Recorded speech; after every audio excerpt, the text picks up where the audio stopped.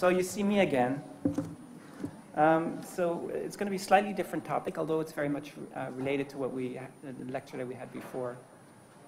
Um, so I'm going to give a sort of overview of the nuclear physics. Kind of hard to do, right, within one, one hour um, to give all this, but I'll, um, I'll, I'll, do my best here. So overview of nuclear physics, uh, weapons technology and testing and development of nuclear weapons.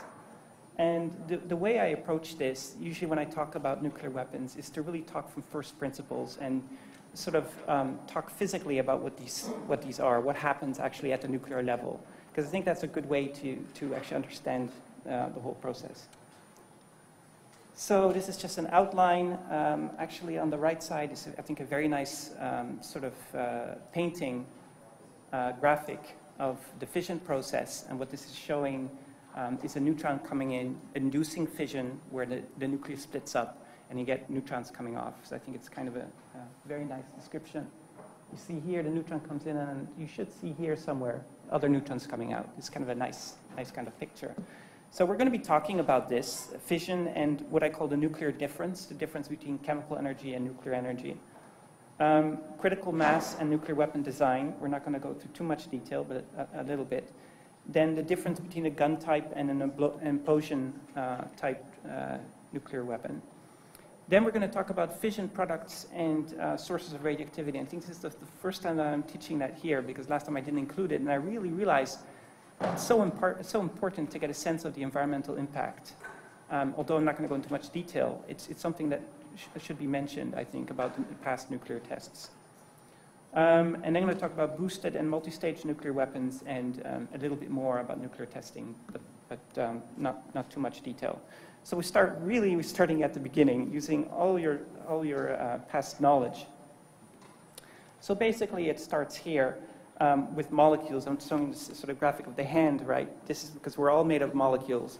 And molecules are made up of atoms, right? This is really starting, starting basic, made up of atoms, which are basically negatively charged electron clouds with a sort of central, very hard nucleus. And the nucleus, and that's what we're going to be talking a lot about uh, in the next, next hour, is made up of protons and neutrons, right? Protons are positively charged and neutrons have no charge. Electrons are negatively charged. It sort of balances um, all the charges. And these guys themselves, these protons and neutrons, are actually made up of other little subatomic particles, which I'm not going to go into detail about quarks. So you kind of see this whole chain of different particles, right? Start with quarks, then neutrons, protons, then atoms, then molecules, then hands, humans. Okay, so th this is kind of the modern view of the, uh, of the atom, is that you have basically a very, you know, you have basically this negatively charged cloud with the central positively charged nu um, nucleus, a hard dense center. And the negatively charged cloud are the atoms, is, you know, the electrons are what's, what's really chemistry is all about the electrons moving around and so on. That's how uh, bonding happens. And let's represent the energy that's involved with that as the energy chem, E, and then this sort of chem there.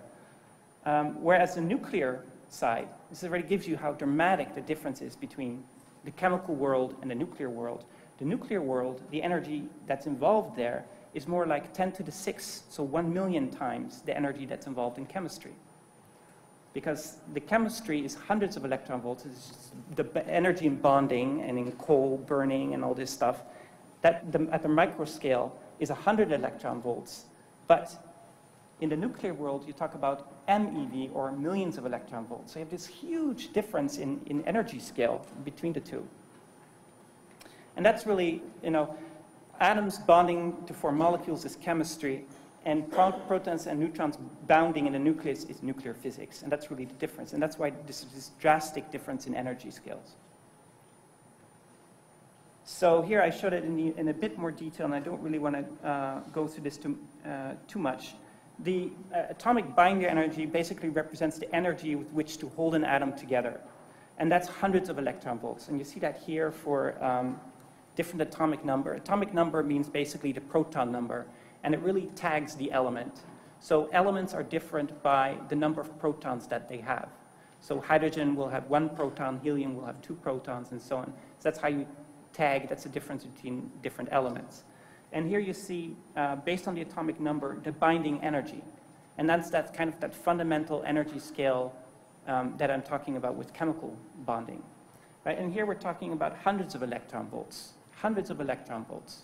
Whereas for, and sorry, uh, yeah, okay, so I'm just saying that one eV is a very small unit of energy that's more relevant for atoms than it is for nucleus.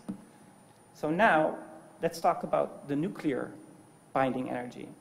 Right, so here the average binding energy is more like MeV, or millions of electron volts. It's measured in millions of electron volts. So we've done this giant leap for 100 electron volts when we're talking about chemistry. That means coal burning. That means, you know, everything that we know of. Um, to the nuclear world, where suddenly everything is in MeV. All nuclear reactions are in MeV. So one MeV is uh, 1 million electron volts. Uh, and 100 EV, I wouldn't say it's 1 electron volts to energy in the world of chemistry. I would say it's about 100 EV or 13 EV is what it is for the, the bonding for a hydrogen atom. So it's very, very different scales. That's the, that's the important point.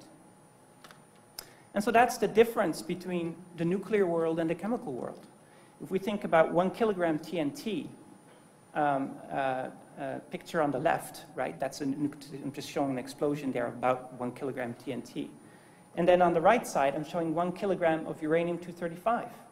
How dramatic the difference is between the energy that's, that's given off in the two, two different processes. Um, it's really quite amazing. So the yield for one kilogram TNT is one kilogram TNT, but the yield for one kilogram uranium-235 is about 15 kiloton TNT, right? So it's a huge, huge difference. So the question is how, I'm a big fan of, uh, of Korean uh, drama, and that's why I have this picture here. Uh, how do we harness this energy that's embedded in the nucleus? And I want to emphasize it's a double-edged sword, right? On the one side, we want to harness the energy because we want to use it for producing electricity uh, in a safe way, uh, with, with that caveat. And on the other side, it's been, it, it had the sort of negative side with, the, with, the, um, uh, with nuclear weapons. So it's, and there's, all, there's also other positive sides in terms of cancer therapy and all this stuff. We're using uh, isotopes and, and, and all this. So it's very much a double-sided sword when it comes to nuclear energy, as we all learned, I think, from Fukushima too. So uh, it's, it's kind of started thinking, where do we start? Well, let's start with uranium-235. Let's look at this very important isotope, uranium-235. Excuse me. So elements versus isotopes. A chemical element is one type of atom distinguished by its number of protons in the nucleus, and that's what I call the atomic number. So it's basically a number of protons. Um, they combine into molecules which have specific chemical properties. Water is an example. Water is H2O, so it's two hydrogens and an oxygen uh, atom. And trinitrotoluene, or TNT, is C7H5N3O6. So they're all basically uh, mixtures of, of uh, different uh, uh, elements, which is a well-known explosive. An isotope of an element has the same number of protons of the element, but differs in the number of neutrons. So as I said, the uh, element is tagged by the number of protons. So you can talk about the isotope of hydrogen.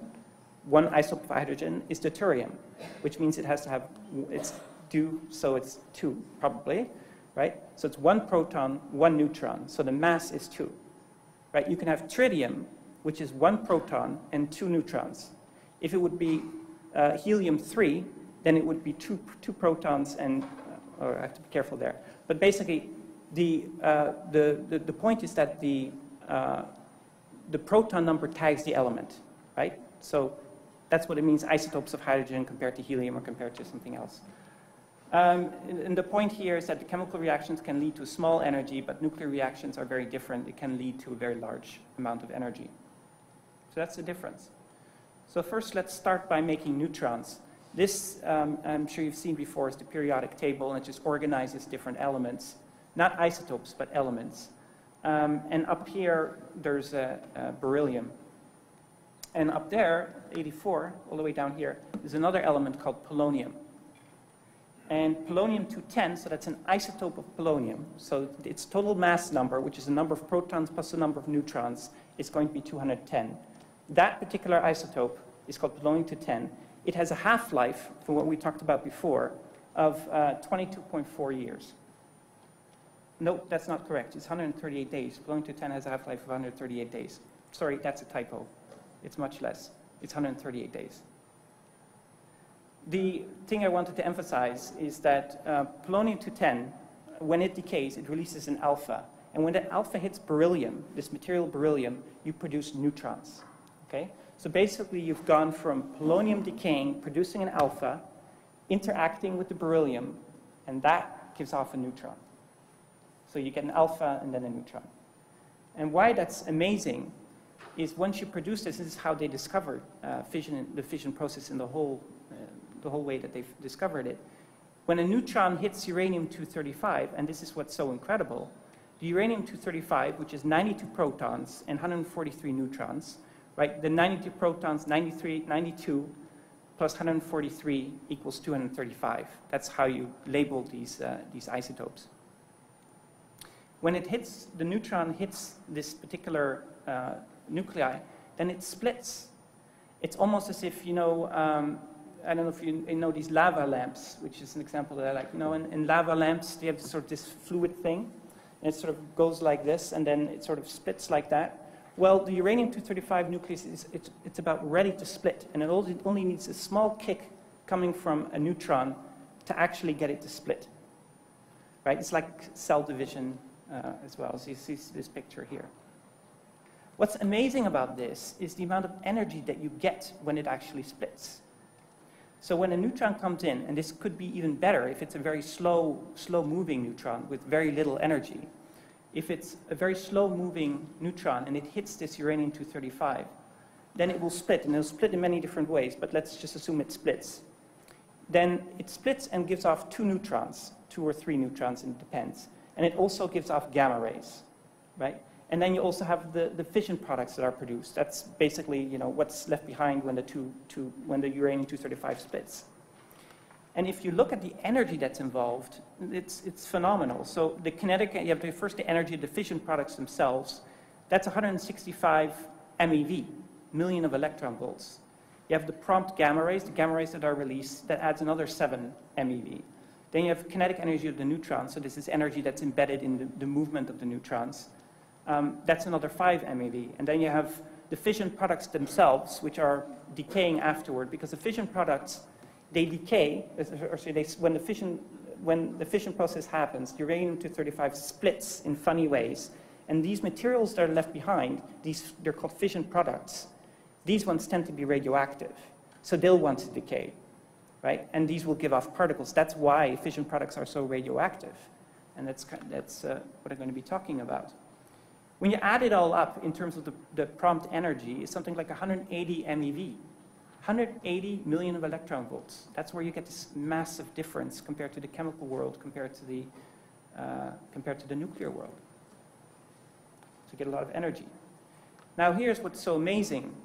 What I showed before is two, two neutrons, two or three neutrons, depends on the isotopes, depends on, you know, it's, it's, an issue, it's a matter of probability. Um, two neutrons going off. Now, what was so amazing is that if I changed the picture and had more uranium-235 there, so now I have one, two, three, I have you know, many of them, then one neutron can induce fission in another uranium-235, and then that will split. When that one splits, it releases another neutron. Then that neutron will find another uranium-235, and that will split, right? So you get what's called a chain reaction happening. And this is how you get such immense amount of energy being released um, if that's done very fast. So this is, the, this is kind of a picture of what's really happening. Um, so in this case, you have uranium-235 splitting. Here I'm using mouse traps because we're going to be, uh, get, I'm going to show a video which is going to demonstrate this in terms of mouse traps. You have U-235 being, first you have a neutron hitting it, hits the U-235, then that splits. Then this will produce a neutron coming off. It'll find a U-235, U-235, and so on and so on and so on. And so this whole uh, process keeps on going it keeps on getting, continuing, sustaining a chain reaction. Here's a useful analogy, I think, to understand this. I think this, is, uh, I think this works very well. Um, basically, what you're doing um, is you have, you know, like you have a bunch of mouse traps, right? You have a mouse trap and you have little ping pong balls, let's say on one side. They have two ping pong balls, each, each mousetrap has two ping pong balls, right? And you put these mousetraps very close together. That's really what fissile material is, essentially. And so what, what you're doing is you're launching one of the ping pong balls, hits one of the mousetraps, and the mousetrap will go off, and that will kick off those two little ping pong balls, and they'll find a mousetrap, and that will go off.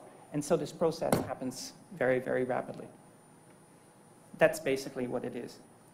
So the uh, ping pong balls represent the neutrons, and the mousetrap sort of unclamping simulates the whole fission, fission process. So I have this here. I hope that this works. It's the volume, where's the volume controlled? You don't want it to be too loud.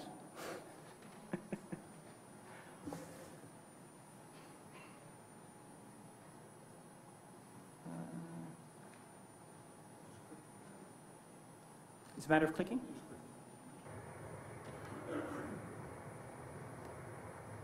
A little bit down. Uh, it's okay.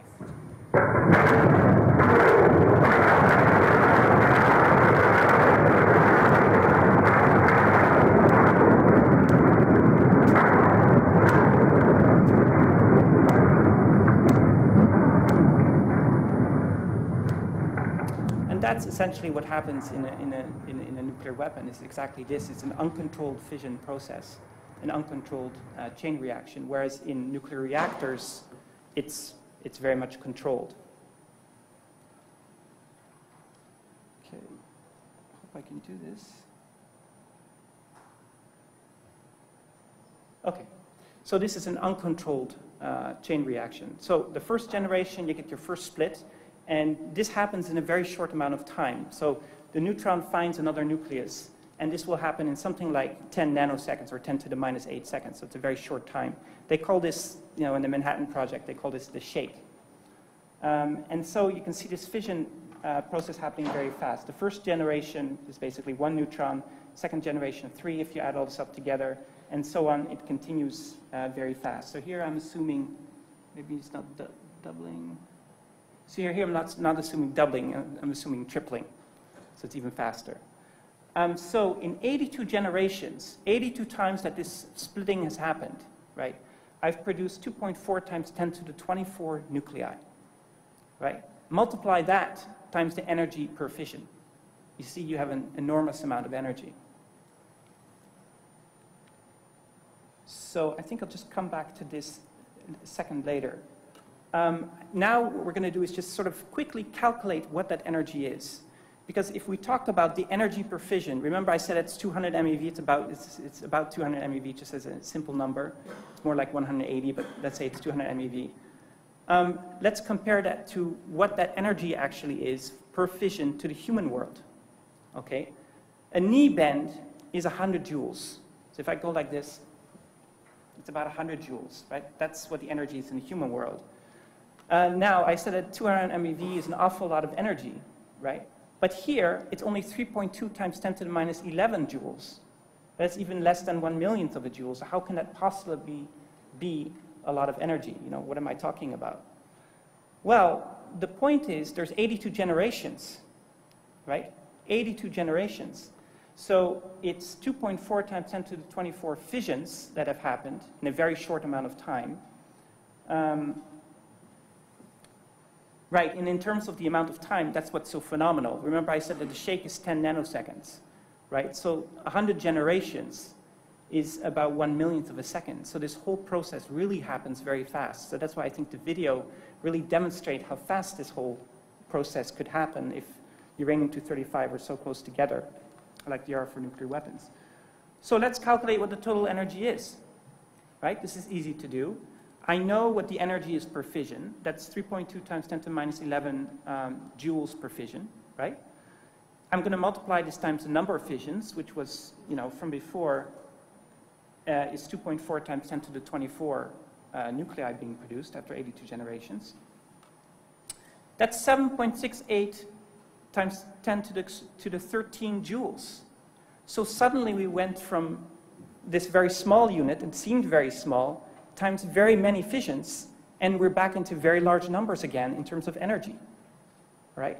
We're talking about uh, 10 to the 13 joules compared to 100 joules being, the, you know, a knee bend. So we're talking about an awful lot of energy again. And that's about equal to 18.3 um, kiloton of TNT, which is what, uh, what uh, Hiroshima was. That's equivalent to 0.94 kilograms of U-235. Less than a kilogram of uranium-235. The weapon itself on Hiroshima was 64, they used 64 kilograms of fissile material. But actually, the amount that actually produced all the energy, the energy release, was less than a kilogram. That's really amazing in terms of the energy. What more is, what I wanted to show is uh, all this happens very fast. But at the first stage, because this process is going, is happening very fast, at the first stage, um, it's, it's kind of a gentle giant that's starting to explode. And that's what I'm trying to show in this curve, because this shows the number of generations. And you see the amount of energy basically being produced uh, on the left side. Right? It's 100% is the full energy. And um, the abscissa shows the number of generations. And you see how fast this is, this is developing, this exponential uh, uh, scale. So 99% of the 10 kiloton bomb, in this case the 10 kiloton bomb, same thing, um, was generated in the last 10 generations, right? So it's very, very fast, 100 nanoseconds, you generated all this, all this energy. Um, and the temperature inside the ball before it disassembles, inside this, this bomb as it disassembles, is almost the same temperature as the center of the sun. Because basically what you're doing is you're dumping all this energy in a very small amount of space, and it's got nowhere to go. So what happens? The pressure increases, and it gets very, very hot. All the things are vibrating back and forth produce an awful lot of, a lot of heat. It's going to be very hot. And I get to why that's important. Here's another graph that kind of shows you, um, I think quite dramatically, the difference in scale. And I hope that this is all, all done correctly. But what I'm showing on the left scale uh, the left side, the vertical axis, is the uh, logarithm uh, of the kiloton TNT yield. So by logarithm, I mean really the exponent, essentially. And I'm going from minus 30 to 1, where 1 is uh, 1 kilogram of uranium-235 fissions, just as we, as basically Hiroshima, as I was saying. So we start at the chemical world, which I call the, the, the micro scale, and that's the one on the left here. Um, they were talking about the binding energy, and it's something like 10 to the minus 30 of that number of one kilogram TNT. Then we're talking about the binding energy of the nucleus, and that's considerably higher. As I said, it's about a million times higher. And so you sort of uh, go up there. It's better if I show it like this. Right, you go up here. Then you're in the human world, 100 joules, a few me bends.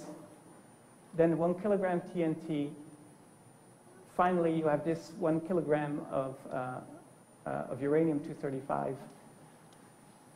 And then the Tohoku earthquake and uh, Tsar uh, Bomba, which was the, we're going to be talking about this, which was a very large 57, the largest uh, test done, 57 megatons of TNT. So very large energies. And very, it's kind of nice to see sort of this, this progression of this scale.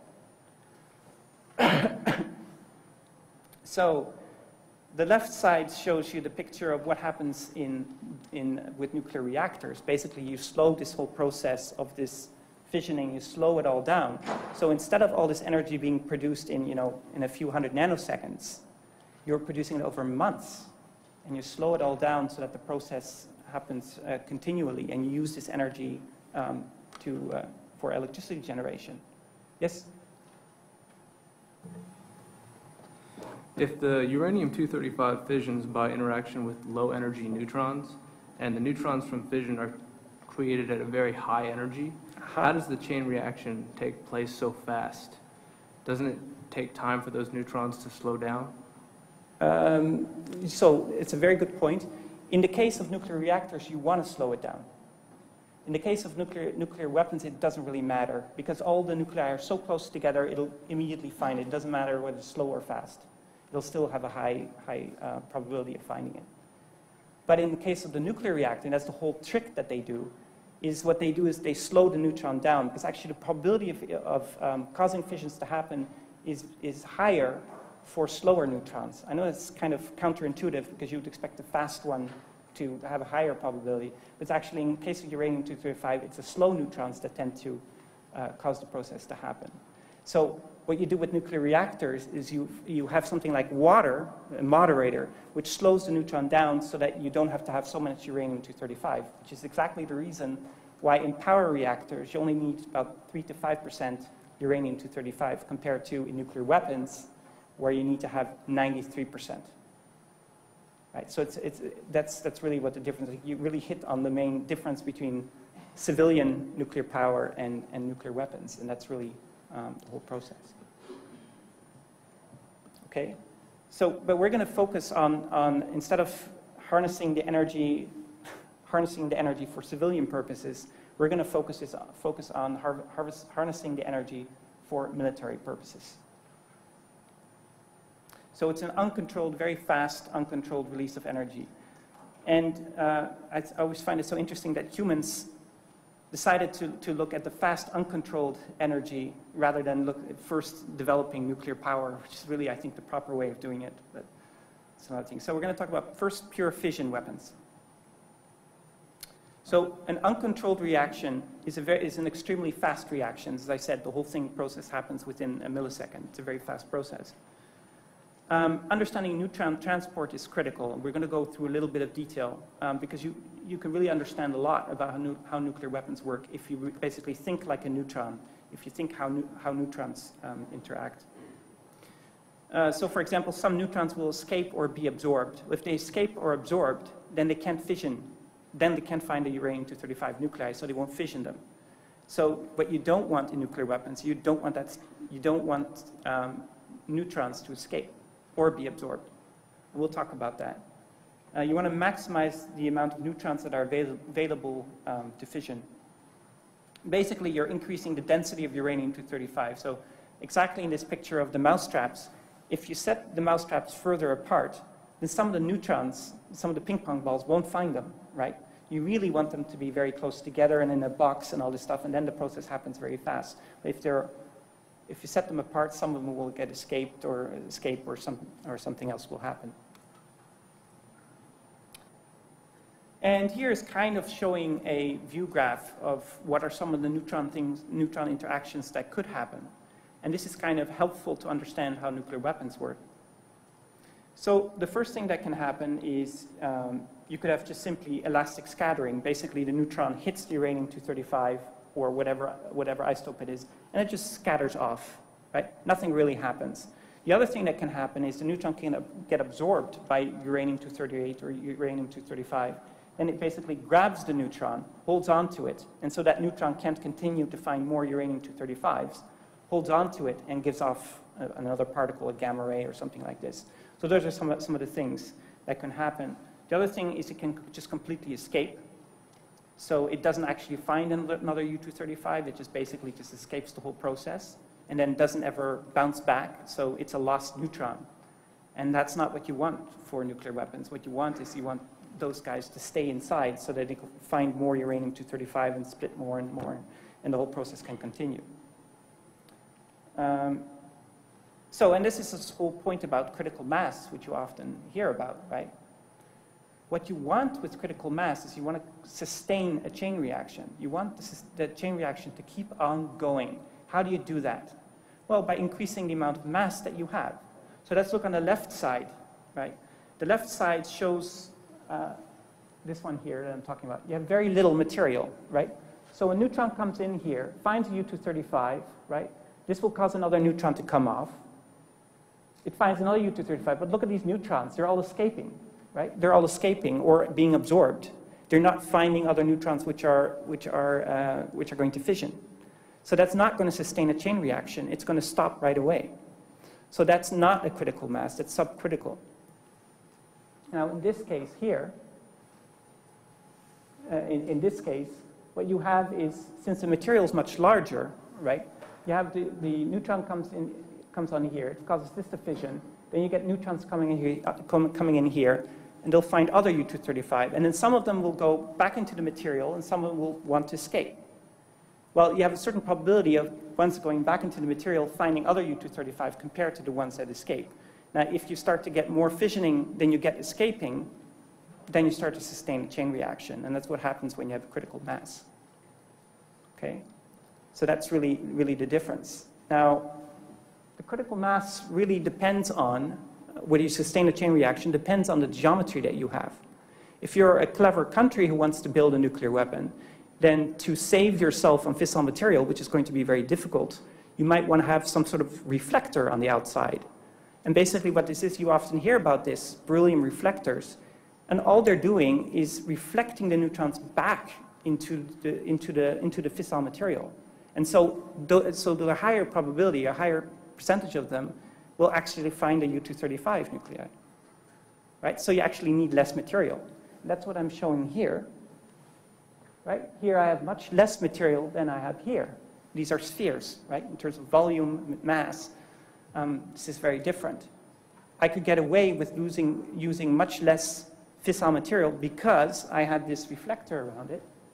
And instead of these guys escaping, they're going to bounce back um, into the material and find another U-235 to fission. So that's one of the advantages. Now you understand everything about nuclear weapons, essentially, right? The, the critically important thing. Now you also understand why people would, would want to use a reflector and all this.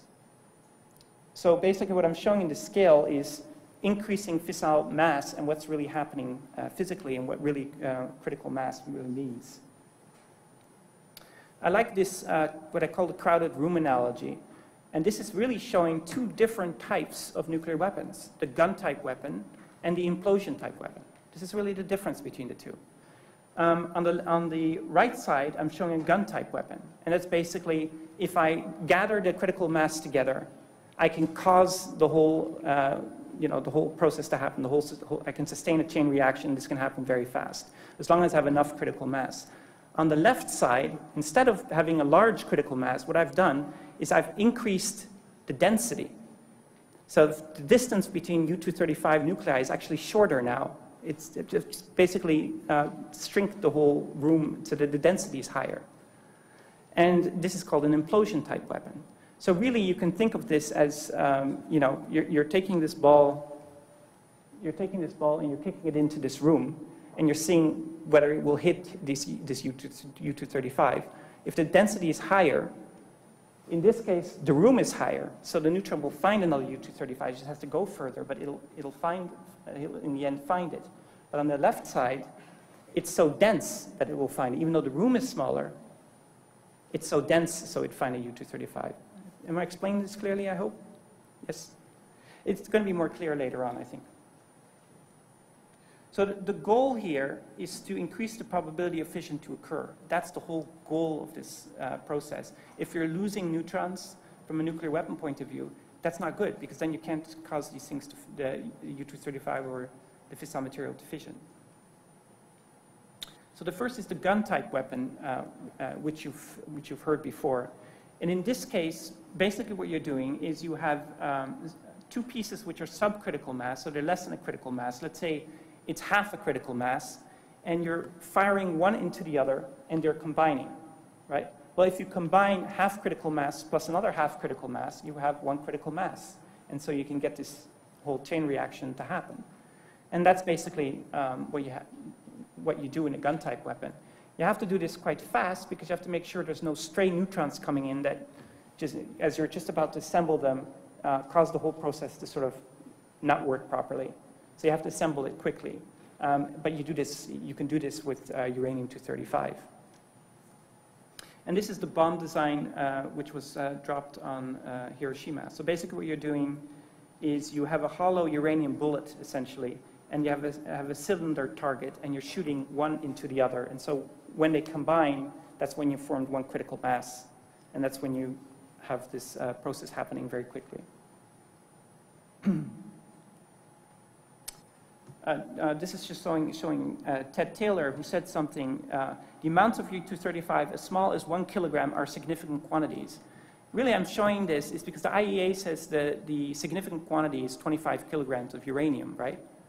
Um, well, actually, you need very, if you, if you have very high enrichment, you need a very small amount of, uh, of fissile material to produce a nuclear weapon. If you want to do sophisticated nuclear weapons, it's of the order of kilograms, not tens of kilograms. Um, so this is a quote from uh, Ted Taylor, who's a well-known uh, nuclear weapons designer. I think I'm going to, okay, yes, I'm going to be talking about this. So, uh, and this is just showing a picture of the devastation of Hiroshima. Um, what's left behind is, are all these fission products, right? All the radioactivity is left behind. And that's what I want to talk about uh, next. So you have the blast wave and you have all the destruction, but then you also have radioactivity, which is left behind, which goes into the atmosphere, goes onto the ground, goes into the air, uh, into the water, and so on. So I just want to do an aside uh, on the sources of radioactivity from nuclear explosions.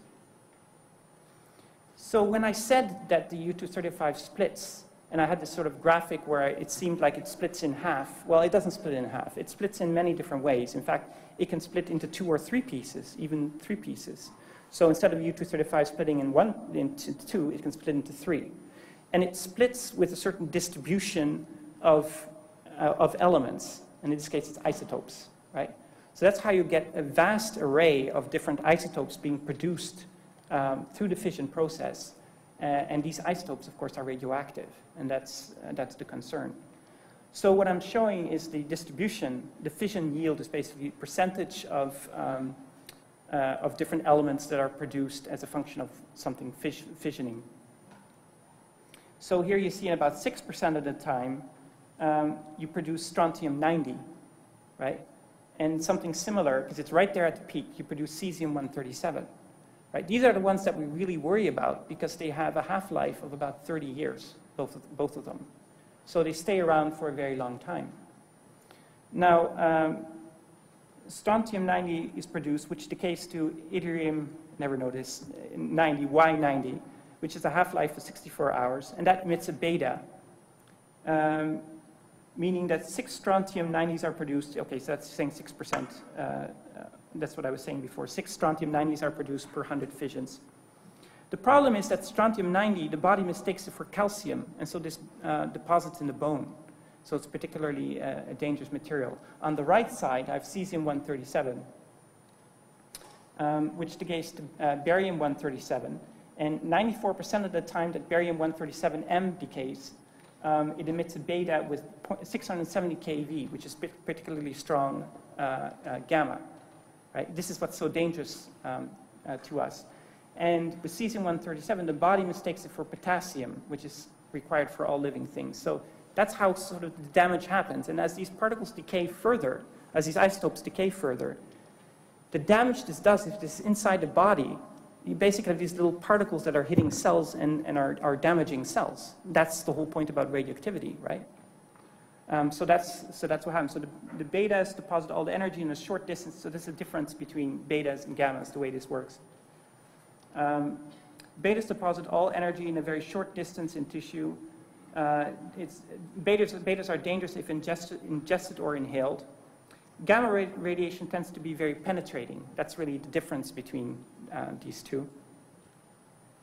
Uh, and can damage cells and lead to cancer. And basically, the damage is related to the type and the number of particles emitted. That's the thing that I'm trying to tell you. So if you ingest some radioactive material, it doesn't stop giving off particles. The problem is that inside your body, it will keep on giving off particles. Of course, you get rid of that material, and there's a half-life associated um, with uh, you know, the process of you actually getting rid of the material. But it's still there. Some of it's still there. And it, these particles are coming off, and they're damaging you know, where the material is actually located. It could be very soft uh, tissue. Um, so uh, just to talk a bit more about fission products. Uh, most, most fission uh, products tend to be radioactive. Um, many of them have a half-life which is less than a minute. So that means that a lot of them will decay very quickly. And so you don't have to worry about it over uh, long terms. Uh, noble gases such as xenon-133, xenon-135, the ones that are important for the CTBT, and you'll have tons of lectures about this, I'm sure. And I think you'll visit the radionuclide station um, up here. Uh, Xenon-133 and xenon-135 have uh, longer half-life, so five days compared to nine hours, and that's what allows you to do verification uh, of the CTBT. But then you have these longer life fission products, the ones that I talked about, strontium-90 and cesium-137, and I already talked about how dangerous these materials are, that have a half-life of, of, about 30 years. Uh, and then you have iodine-131, which I'm sure you've heard about um, with Fukushima last year, uh, which is a half-life of eight days. So that will also disappear um, pretty quickly. radioactivity itself follows a relatively simple decay. I don't want to go, I don't think I have that slide, so I won't show that. Um, and then there's also induced radioactivity. So I talked about the fission products that are produced, but if you think about the process of a weapon going off, right, you have the fission products that are released, but then there's also a whole lot of neutrons that are released. These neutrons can find other materials. And when they find other materials, they'll connect with it and produce more radioactive materials. And that's the, that's the problem.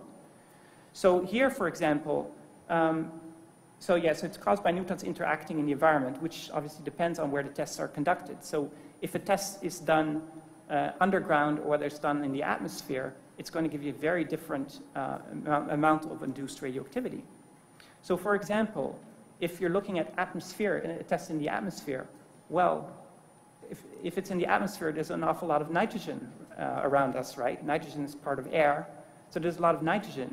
And when the neutrons hit nitrogen 14, right, then they turn into carbon 14, which I'm showing up there. And carbon 14 is very radioactive. It has a 5730 uh, year half-life. So you're producing, through this process, your, this induction process of these neutrons, you're producing radioactive materials. So this is not the fission products. This is just the process of neutrons hitting air, air molecules, right? And through this process, you're producing this radioactive material. And then you can also produce tritium, which is another very dangerous uh, uh, radioactive isotope. Right? Tritium is an isotope of hydrogen. It's one protons and two neutrons, so it adds up to three. And it's going to become more important later on when we discuss boosted weapons. The other thing is if you, um, if you do the explosions under the sea, well, what's seawater made out of? It's salt water, right? Salt is sodium. So you have sodium-23 plus neutrons produces sodium-24. And sodium-24 has a 15-hour half-life and a 4 MeV beta, which is particularly high energetic beta. So if you're exposed to that radiation, um, that's also very dangerous. And there's this case where I have this quote, hairy-chested disdain for unseen hazard. This was from, a, uh, from one of the reports where uh, naval officers uh, uh swam in the Bikini Lagoon where the tests went off. And they got lot, exposed to a lot of sodium, uh, sodium 24. So a very, very sad case. Um, this is just showing the worldwide environmental inventory, and I don't really want to go in through it in too much detail, and because you can, uh, I just want to have this kind of this reference, uh, reference point of showing the difference between the environmental inventory um, for atmospheric and underground tests and so on. So what you see is that strontium uh, 90 is more like 11 million uh, curie. Curie is a very large unit, actually. It's 3.7 times 10 to the 10, so 10 million, uh, no, sorry, 10 billion um, uh, decays per second. So when you have a curie, it's an actually very large uh, unit. In fact, a curie is equal to a gram of radium-226. That's how a curie was um, defined. Um, so uh, globally, you have about 11 million uh, curie. For strontium and for cesium, you have about uh, 20 million curies. So this is, this is a large amount of material that you've just thrown up in the atmosphere. You have also carbon-14 and plutonium-39 just from the, from the process itself. Um, the total yield, and this assumes a total yield of 550 megatons uh, TNT, where 40% was fission and 60% is due to the fusion uh, weapons.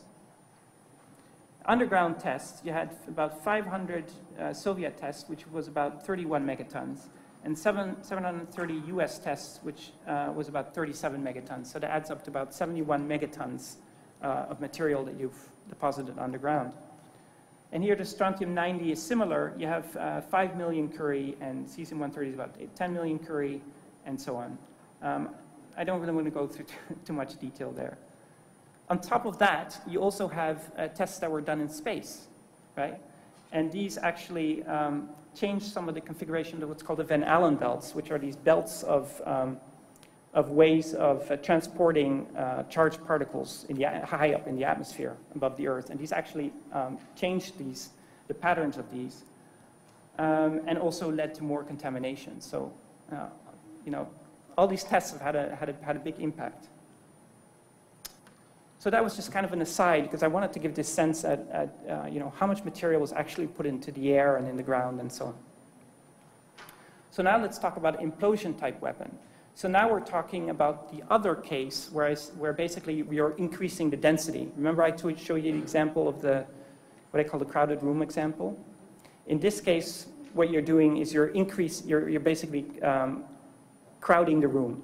So actually the picture that I wanted to say is the, the uranium-235 actually represented people at a party, and somebody opens a door and throws a neutron in, and so you have a high chance of hitting, it, hitting them. That's really what I meant to say with this crowded room analogy. So on the left side, I had if you increase the amount of people, you have a higher chance of hitting somebody if you throw a tennis ball. And that's essentially what you're doing in this case with the, um, with the implosion type weapon. And so what you have here is you're increasing the density plutonium. So you start out with basically a shell of subcritical uh, plutonium-239. In this case, we're talking about plutonium. Um, or well, it can also be uranium, but you start out with a sort of a shell, spherical shell, and that's going to be less than one critical mass, way less than one critical mass. And that's good because that means it's much safer. If you're working with materials that are already close to critical mass, that's uh, it's not so safe. So gun-type weapons are not so safe. But here what you have is you're taking that, those shell and you have, ex have explosives on the outside and you're basically causing this to implode. So by having it go out like this, right, you have these lenses essentially, uh, uh, explosive lenses, it, it, pushes inward and causes it to reach a very high uh, density. And there it will reach critical mass. So that's basically how it works. Um, you have these what are called explosive lenses here. Oh, I'm sorry it's like this. So, so you're basically imploding the material. So here is your fissile material, and you're imploding it and it goes inward, and then it becomes a much smaller volume, right? And you have a very high density of the same material in a very much smaller, uh, um, much smaller volume. And this was the design which was uh, dropped on Nagasaki. Um, this is just showing another, uh, another picture of it. So basically what you're doing is you're uh, you're taking your fissile material and you're crushing it so that the so that it'll find the neutrons much easier. Uh, you're basically just uh, bringing the atoms closer together so the neutrons will find the U-235 or, or plutonium. Now, it's not as easy as it looks, and this is kind of trying to demonstrate uh, what the process is. You know how when you have a water balloon and you're trying to squish uh, squish it uh, perfectly symmetrically, that's very difficult because it tends to go between your fingers, right? So it's not actually something that you would expect a non-state actor to be able to do um, because, it's, because it's, it's, it's quite sophisticated. Um, but the difference is from the gun type is that you need to test it, right? So if you need to test it, you have the CTBT, which is there uh, to, uh, to, stop you from, uh, to be able to, to monitor that. And um, oh, so this is showing a picture of the uh, Trinity test, which was the first uh, nuclear test uh, with uh, uh, of the implosion type type weapon. Uh, very dramatic. Again, you have the same kind of um, radioactivity that's left behind, and and so on. Incredible devastation. Now let's talk about modern nuclear weapons. Okay, so basically we went through Hiroshima and Nagasaki. Now we're going to transport in time to more modern nuclear weapons. And we're called boosted and uh, multi-stage nuclear weapons. Now this is what a more modern nuclear weapon looks like. So what you have is, uh, you still have the same thing, same implosion type weapon where you have your fissile material and you're crushing it together to reach the high density and so you get the critical mass forming. It's still very similar, but what you do is you have a clever trick. And what you do is, remember that I said that once you throw all that energy in a very small space, then you produce very high temperatures. Well, if you re reach high enough temperatures, temperatures that are equivalent to the center of the sun, then basically what you're doing, you could, you could cause the fusion process to happen. And what you do with boosted weapons is not really a fusion weapon, not in the same sense that I'm going to be talking about multi-stage weapon, but basically what you're, do, what you're doing is you're, um, you're boosting the weapon by producing a whole bunch of neutrons. So what I said was that the Hiroshima weapon was only 64 kilograms, or sorry, was 64 kilograms of fissile material, but only one kilogram was actually fissioned. That's a very low density. If you want to produce a very powerful nuclear weapon, then you want to have a high, higher um, efficiency. You want all of it to, to fission, not just less than one kilogram. So how would you do that? Well, with this way, with, by boosting it, if you reach a high enough temperature, you can cause a fusion reaction to happen. And you use tritium and deuterium. We're going to talk about that a little later. I don't think I have the description here. And you cause a fusion event to happen, fusion to happen. And what this does is it basically uh, produces a whole bunch of neutrons. These neutrons will go out very quickly and find the other fissile material that was lost in the first process. And so you increase your efficiency of, of uh, having the, uh, the weapon explode and, and, and uh, getting as high yield as possible. So boosted weapons use a very small quantity, a few grams of uh, deuterium-tritium gas, which is injected right into the center of the primary. We're going to be talking about the primary and, the secondary. The primary is basically the fission part of the weapon. And D and T are isotopes of hydrogen. Um, D is deuterium, that's one proton, one neutron, and tritium is one proton, two neutrons. That's basically the difference between the two isotopes. Uh, to initiate fusion, you need fission, right? So if you want to make a fusion weapon, that's where we're going to be talking multi-stage weapon, you need to have fission to get to the right temperature. You can't use a conventional weapon because conventional weapons just can't have the same temperature. You can't get to the temperature where you get fusion to happen, right? So only fission will do that, and that's why um, when you talk about multi-stage weapon, you have first a fission and then a fusion uh, process. Um, we'll talk about that. Uh, neutrons are released, which floods the core and increases the efficiency of fissions, because you still have the fissile materials that's there, and these neutrons will find that fissile material and, and increase the probability of it fissioning itself.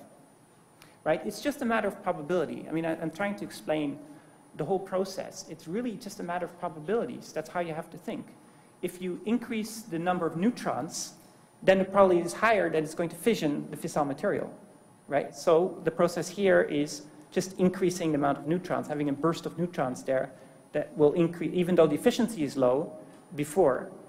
If you then have a whole flood of neutrons coming, then you increase the efficiency of the final, uh, final yield.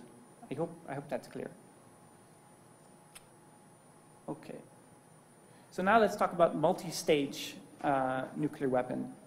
In this case, we have fission, fusion. We'll talk about all these different ones. Fission, fusion, fission, fusion, fission, enhanced radiation, and salted bombs. Um, they use both fission and fusion to produce yield. Now, generally, we don't talk about boosted weapon as being fusion weapons because you're not really using fusion energy so much. You're just using the neutrons to speed up the whole process right? That's really what you're doing, You're speeding up the whole, whole process so that you get, uh, you know, get a lot of uh, high, high efficiency of neutrons um, uh, producing fissions. Okay, so this is actually what I was talking about, why the fusion process happens. If the temperature is high enough, as I said, it has to be re reaching a very, very high temperature, which you have during a fission weapon. Then what happens is the deuterium and, and, and the tritium will fuse together essentially, produce an alpha and a neutron, and 17.6 MeV, which is, again, a very large amount of energy. Not as high as fission, but if you have a whole lot of these, then suddenly you get into very, uh, very high energies. And what happens when the D and T join, uh, sorry, so you produce a lot of energy, which is what you want. You also produce a lot of neutrons, which you want in a boosted weapon. Um, now, if you really want to compare all of this in terms of the energy, um, if you have 17.6 MeV being, being given off, and you have five particles coming in, because basically what you have, you have what's called atomic mass units, which is basically the mass of the proton and neutron. Let's assume that they're about the same thing. Okay, so we have D plus T. The D, as I said, is one proton plus one neutron. Tritium is one proton plus two neutrons, so that's five, right? So if you look at the energy per proton, reactant, proton or, or neutron, then it's about 17.6 divided by 5, right? That's the, the 5 that you had before. So you get 3.5 MeV per AMU. Now, if you compare this to fission, which I said is an awful lot of energy, but these are very large nuclei, so it's, it's hard to compress them um, together, whereas protons and neutrons, uh, if you have you know, very light materials, it's very easy to compress them. So you can have a very high amount of nuclei in a very small volume. Um, the fission en energy per mass is 200 divided by 235. 235 is the number of neutrons plus protons, right? So you have about 200 MeV divided by 235. That's less than 0.85 MeV per AMU. So you have a, have a significant increase in the case of, uh, in the case of fusion than you have compared to, uh, uh, than you have compared to fission. And the temperature, uh, it's, it's, very short. Uh, before the weapon blows apart, it's about the center of the sun, and you need this to get the fusion uh, reaction to happen. Now, I want to show, I don't know if this is on this next slide or not. Yes, this is just showing a picture, although it's a little oval, so I had to stretch it, uh, of the sun, just showing a picture of the sun. Uh, modern design, designs of uh, nuclear weapons, they use a fission bomb. To, I'm going to show this later. it might be a bit confusing now. Modern designs use a fission bomb to produce sufficient heat to detonate the fusion fuel. Let's, so first you have a primary that produces the, that the primary is where you have the fission process happening, right? That produces a whole lot of heat. That heat gets transported to the, to the, uh, to the fusion fuel, and that will cause the fusion process to happen. That's where you get most of your energy in these modern, uh, modern weapons. Uh, designs of the secondary, so the primary is the fission weapon, the secondary is the fusion uh, weapon, uh, differs for diff different intended effects, and we're going to be uh, talking about that a little bit. Um, design, the primary is designed to be as safe as possible from the point of view of inadvertent detonation, and we won't talk about that. Uh, okay, good enough. This is a picture of, of a, a, more modern nuclear weapon. This is what it looks like. So what you have is, you have on the, on the left side, I'm showing that work? Yes. Um, the left side, you have the, uh, what's called the primary. So that's what I said is the, is the fission part of the weapon. So that's where I show one and two.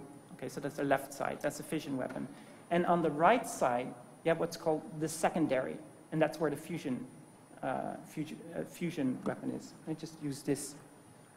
I hope you can hear when I'm standing like this. So what you see here is, so this is the, this is the primary and this is the secondary. Um, the first part of the process is the actual implosion process, right? You're imploding the, um, uh, the, the shell, whatever the shell is, whatever the fissile material is, uranium-235 or plutonium-239. You're causing it to implode. And then, just as it reaches a, a very high temperature, you put, bring in the, the tritium and the deuterium, and that causes the boosted phase. So that's where you produce so, much, so many neutrons, you increase efficiency. Then the third step is, right, you've now produced a lot of, uh, a, a lot of heat. Then the third step is to actually, in an efficient way, transfer that heat of that, that fission, fissioning weapon, the, the, the primary, transfer that heat to the secondary. And do that in a way to heat that area to temperature that's high enough to cause fusion to happen in the secondary. It's called the Teller-Ulam uh, method. And basically what you're doing is you're, uh, and yes, I wanted to, so I'll talk about that later. In modern weapons, you don't use D and T in the secondary. Remember I said in the boosted uh, part of the weapon, you use tritium gas uh, with deuterium. That's what you use in boosted weapons. But in modern weapons, in the, in the secondary, what you use is lithium deuteride. And why you do that is a very clever trick, is that if you see in the process up here, right up there, it's really funny to do this like this. Um, you have tritium plus deuterium produces a neutron, right? This neutron can interact with lithium-6. So if you have lithium there, it can produce more tritium. And so you can get the cycle going where, you where you can produce more tritium and deuterium and get the whole, whole uh, um, process going. Uh, and so you don't need a gas, because if you have a gas, then it's going to be complicated, because you need to cool the gas down, refrigerate it, so it gets basically into liquid form. Well, then you get into very complicated weapons. In this way, you just use lithium deuteride as your weapon. You have the deuteride, the deuterium there, and you have the lithium, which you convert to tritium. So all you need is a solid material of lithium deuteride, which you can have, it's just a solid, uh, as, part of your, uh, as part of your fusion fuel. You don't need to have tritium gas. Um, so that was, that was a very clever trick to produce your uh, uh fusion uh, yield. So, so, the, so what I'm showing on the, on the right side is I'm showing the, the red part there um, is the plutonium spark plug. They call it the spark plug, but it's basically fissile material. Then in white, I'm showing, or in yellow, I'm showing the fusion fuel. That's that lithium deuteride that I was telling you about that will produce tritium when it gets neutrons. Um, and then outside, I'm showing a U-238 temper. Now that's going to be important, the temper, and what the temper actually is. In this case, I'm showing U-238. So if in this fusion process you produce a whole lot of neutrons happening, those neutrons will find a uranium-238. And when they find uranium-238, they'll cause more fissions process to happen. So this, what I'm showing you, is a fission, fusion, fission weapon, right? Its first stage, the, the primary, is causing the fission weapon. The second part is the fusion process that you're producing. But then you also have a fissioning of the temper itself, right? And also of the spark plug itself. So you get a lot of, uh, a lot of neutrons and you get a lot of dirty uh, products as well. And then furthermore, you have, the, uh, you have a mantle on the outside, which I'm showing here, which is all around this, which could also be made of uranium-238. So you get further fissioning happening for the neutrons that are flowing out. Right? So this is all to have neutron economy so you produce a whole lot of neutrons and a whole lot of uh, um, fissions. Now, it's, to me, this is really amazing. Um, it, one, one megaton bomb uses a few kilograms of lithium deuteride, fusion weapon, uh, several kilograms of plutonium, about four or five kilograms. The mantle is about 100 kilograms. Um, so you have several hundred kilograms. That's the size of the, that's the mass of the physics part of the, of the weapon, which is really amazing. So a several hundred kilogram bomb can produce explosive power of 100 million, uh, sorry, 1, 1 billion uh, kilogram TNT. It's, it's really amazing. This is just, and I don't really want to go through too much detail here. You're basically, for the different types of weapon, you're basically varying the temper, right? So you're varying, in your secondary, you're varying this part here, the gray part of your, uh, in, in, in the graph up there. So for a, a fission fusion weapon, in this case, you have no uranium-238 temper. You use something else, some, something like lead. Um, then it's, uh, it's going to be cleaner from the point of view. It's, okay, it's not clean. None of these weapons are clean. But at least you don't have the, uh, the U-238 in your, in your temper, which is going to produce all these extra uh, uh fission products. And then you can have enhanced radiation, which is going to be transparent to neutrons. So you get an awful lot of uh, neutrons being produced. Um, well, have, okay, I don't, I don't really want to go uh, to too much here. But there are these different types of stages, different, different types of weapon, weapons. And they vary in different ways. Uh, and of course, a lot of this is classified. But basically, you're varying the temper in these different types of weapons. This is showing, I think this is B-61 bomb, I don't remember. Um, this is the only picture you can ever find. You always see this of a bomb being disassembled, and you can see all the different parts um, that it's, it's made out of. And today's discussion, uh, when I talked earlier about dismantlement of bombs, you can see how complicated this would be in the whole process. And safety is so important too, right? It's not just uh, fissile materials or radioactive materials. There's also other, there's asbestos and there's all kinds of other uh, chemical toxic materials that you, that you have to take into account in the whole process. So safety is really important. And when I talk about dismantlement, I'm not wide-eyed about all this. It's, it's, it's a really complicated uh, process. It has to be done very carefully, taking into account safety and so on. Okay, we don't have to go through this. I think, did Jean show this? So I don't need to show this. Yeah, okay. Uh, this is just showing the uh, uh, nuclear testing over the years, and on the abscissa, I'm showing, you know, uh, first use going into uh, modern times. Um, and I'm showing different tests that would, that, oh, oh. Did I not stop this? Can you turn down the volume? Because it's going to continue. Usually when I show this to students when I teach in Monterey, you sort of hear this in the background. So what I do is I, I continue to teach the, uh, the rest of the lecture and then, you know, and I talk more detail about testing and you can hear this in the background. But this is going to get loud. Yeah, thanks. Louder? No, no, no, all the way down. Because you've heard this before, I think. Have they heard this before? Yes. Because it's nice to hear in the background. Like, uh-oh. Uh-oh. Could get loud. okay, I'll continue. Uh, this is just showing uh, sort of decades of you know all the nuclear testing that had been done. So do you have control over the volume? Uh-oh. Well,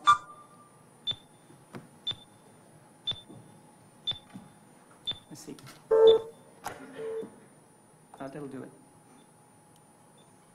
It's okay like this. Okay. You sure? Yeah.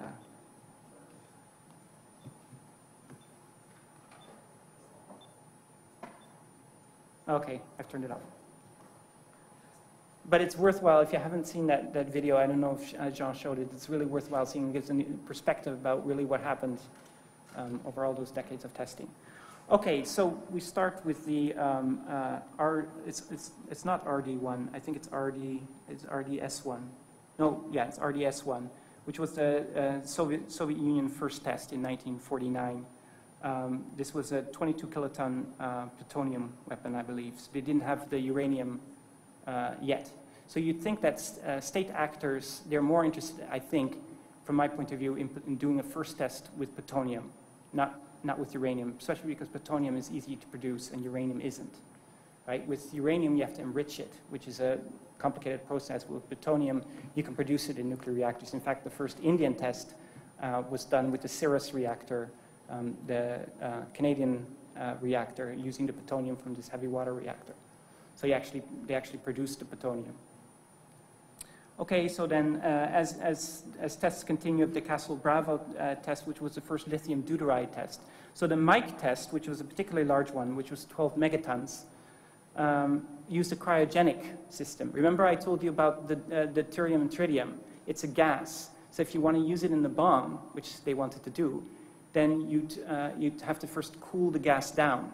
So it becomes a really complicated experiment. Basically, they had a, a room. Uh, it's not really a, a, weapon that you could ever use. Uh, uh, not that you would want to use any weapons, but it's, it's not, it's not a really uh, design that you could use because it's so large, because you had the whole refrigerator essentially, cryogenically cool um, uh, the tritium, deuterium tritium. Um, so instead, then in the Castle Bravo test, uh, they used lithium deuteride for the first time. And in that case, they had uh, uh, a very, very high yield. Uh, that was 15 uh, megatons. This was a very, very, very, high yield. And then later on, they had the, the Tsar Bomba test, which is, sorry, it's 50 megatons. It's more like 57 uh, megaton test. I'm sorry I say cleanest. That's almost a typo. um, it was clean from a certain point of view, but it, of course it wasn't clean. Um, and produced a lot of fission products. And basically, there's this rush to maximize the yield to weight ratio. If you want to weaponize this and put this on missiles, then you have to make sure that it's a certain size that it can go on the weapons, a certain weight, right? You can't have it to be as heavy as a cryogenic uh, weapon because you wouldn't be able to put it on a missile, so it would be completely impractical. And so they continued with all this testing. Um, then I showed the 1964 uh, 596 uh, China um, HEU implosion they used HEU first, not uh, plutonium. Uh, but generally, many of the other ones, India used plutonium first and UK used uh, plutonium first. Then there was a Smiling Buddha test, uh, which was 8 kiloton, which was the first non-P5 test. And, and this was the one that was used, the, the, the India test. Then later on, you had the CTBT uh, coming online. I show here the partial test ban treaty. Um, and then there was the Pakistan uh, Chagai uh, 1 uh, test, um, which was, let me see, oh, which was underground test. I don't have what the yield was. This was 1998. And then, of course, you have the DPRK tests. This is just to give you a sense at, uh, you know, what are the tests uh, that have gone on. And there's thousands of tests. And all are trying to understand different processes in uh, nuclear weapons, whether it's um, uh, calibrating the codes that were used to, uh, um, to understand how the, how the yield would be developed and these kinds of things. Um, all the tests had kind of like a, uh, had a purpose, a specific purpose. Now, um, uh, here's some quotes from uh, Bruce Goodwin, who is the Principal Associate Director for Weapons at Livermore National Laboratory, just reflecting on the fact that um, they've learned a lot since testing has stopped. They've learned a lot about nuclear weapons since testing has stopped. Uh, we have a more fundamental understanding of how these weapons work today than we ever imagined when we were blowing them up. And then the other quote is from uh, NNSA, uh, Nuclear, National Nuclear Security Administration Administrator Thomas D'Agostino, saying, we know more about the complex issues of nuclear weapon performance today than we ever did during the period of nuclear testing. So what it's trying to emphasize is that they know enough. They don't need to be uh, necessarily blowing things up uh, to, uh, to learn more about these nuclear weapons. They can learn these from past tests and um, uh, you know, they've calibrated their codes from my point of view. Okay. So this is just to summarize uh, the presentation. Uh, you have vastly more energy from nuclear reactions than chemical reactions. That's really the difference between uh, you know, civilian explosives and uh, um, uh, you know, chemical explosions and, and nuclear explosions. The critical mass is the mass of fissile material required to sustain the chain reaction. Uh, I described these three, three phases. The first use phase is the gun type and implosion type weapon. Then bigger, better, and safer. You have boosted weapons and multi-stage uh, uh, weapons. And then the industrial scale and the uh, reduction phase, and I think that's where we are now. That's it, I think. Do we have any questions?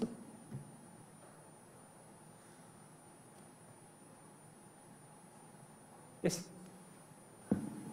I just have one question. Earlier, I think we uh, learned that one of the reasons for the CTBTO was that there seems to be a consequence between testing and weapons. And if the United States feels they don't need to test anymore, but can still improve their arsenal, isn't that negating one of the precepts of the CTBT? Um, maybe I'm not understanding your question. If you, Hussein, you say it again. I'm sorry. We learned earlier from, from Mr. du Preez's Yes, that he felt that there was first the test, and then there was the improvement of the weapons. With Yes. every improvement, there was a subsequent test, and it was a regenerative cycle, or a degenerative cycle, as you might wish. So if the United States feels it doesn't need to test anymore, then it kind of makes me feel that the CTBTO, by limiting testing, really is not limiting the spread of nuclear weapons or the modernization of the arsenal. um, well, I'm not quite sure how to answer that, to to be honest. Do You want to comment? Well, thank you. Maybe I might just make a comment about that. Um, uh, I think that, uh, at least in the United States at the moment, uh, the uh, the U.S. government has uh, taken the position that it will not uh, seek to develop new military capabilities for its existing weapons, but that it expects to retain the existing weapons in a, a reliable and safe Stockpile uh, stewardship. uh, and secure uh, mode, and that it will pursue uh, the uh, non-testing uh, uh, technical efforts at the weapons uh, laboratories uh, to ensure that. Uh, The National Academy uh, report that was issued about a year ago uh, does speak to the uh, ability to do some uh, modifications to existing weapons that would be uh, confined to the envelope of previously tested designs.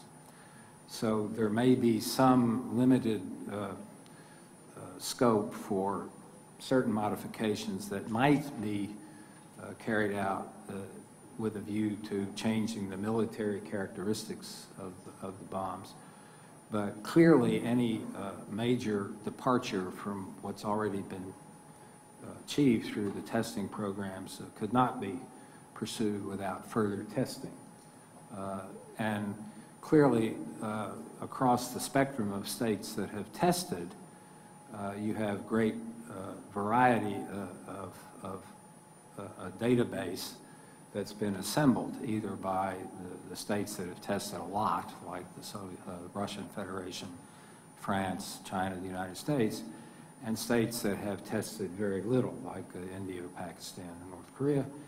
And uh, were testing to resume, I think it would be a, a, a uh, almost foregone conclusion uh, that states with less testing experience could acquire a great deal more in terms of of flexibility in pursuing military uh, objectives that they might have or might not. However, it would be up to them to, to be thinking about that.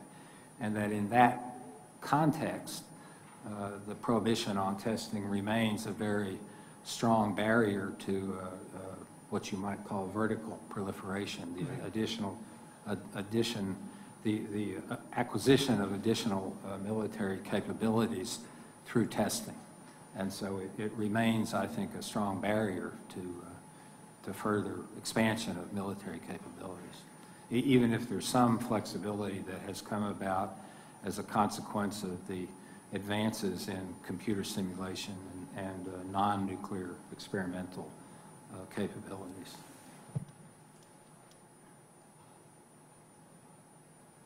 Yes?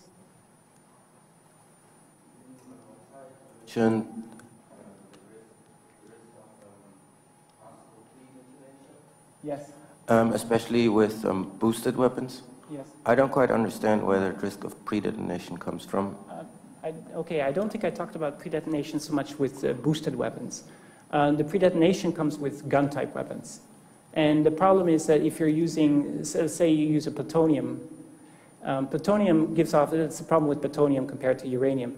Plutonium gives off a whole lot of neutrons per second, per gram, whole lot of neutrons. So if you want to trigger it at the right moment, say a gun-type weapon, you want to trigger it exactly when they're, you know, when they're connected like this, you won't be able to do this because the, as you imagine these things coming together, you get so many extra stray neutrons coming in because of the, the nature of plutonium that you won't be able to form a proper critical mass. It'll just, it won't be able to, to form the critical mass. And so that's why for plutonium, um, if you want to produce a high yield, uh, you can't use a gun-type weapon. Um, that's the whole point about pre-detonation. What you will produce, though, and this is something that I think is not emphasized enough, is um, you, you could still produce a yield.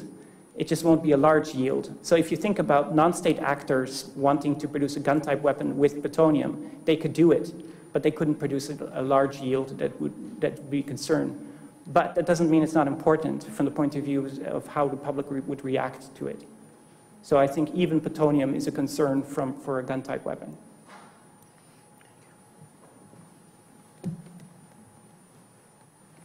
Um, I actually have a question about um, your previous talk concerning the disarmament. Um, you mentioned the conference, a conference about um, disarmament. You did some exercise or backstaging or something. I would be interested in what what were your conclusions in this due, due to this. Or can you give a, just a little comment, or shall we talk about this? Or?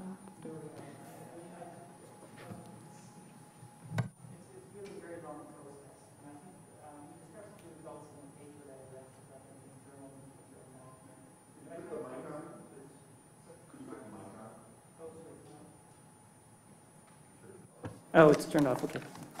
Um, So in the Journal of Nuclear Materials Management, we discussed some of the, uh, some of the results. I kind of listed to you the main ones already.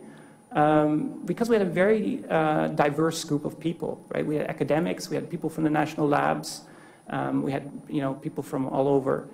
Um, So we, it's, it's sort of, I would say it's the beginning process. In terms of, in terms of conclusions, I think we're just starting this whole whole process of really uh, thinking things through. It is clear, though, um, that will be a difference at different steps. So you need a different verification regime at different uh, mile points when you're talking about 1,000 or 100 or, or 10. I think it's, it's, it's good even if you don't believe in this. Uh, I think it's good to start thinking about what sort of, sort of technology. What I mean is, even if you don't believe it's going to happen today or in our lifetime, it is useful to think about what technology would need to be in place um, uh, now to see whether you could uh, develop it, so you know exactly where you're going.